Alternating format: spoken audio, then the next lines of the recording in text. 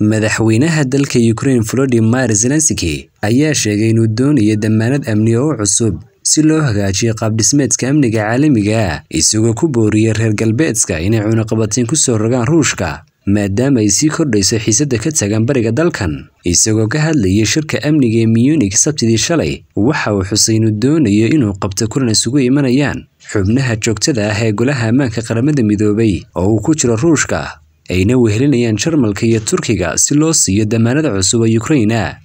Waxa uu cambaareeyay waxa uu ku tilmaamay siyaasad raaligelin ah oo ku wajahan Ruushka, taasi oo ka soo bilaabantay dhoolatus military. Madaxweyne Zelensky waxa uu hore u dalbaday in dalkiisa lagu daro gaanshaanbuurta NATO ee Maraykanku hogaaminayo, balse Ruushka ayaa arrintaasi ku tilmaamay mid khadcas u noqon karta ammaanka Ukraine. Laakiin madaxweynaha Ukraine waxa uu sheegay inuu diyaar u yahay inuu la kulmo dhiggiisa Ruushka Vladimir Putin si uu u ogaado waxa uu doonayo,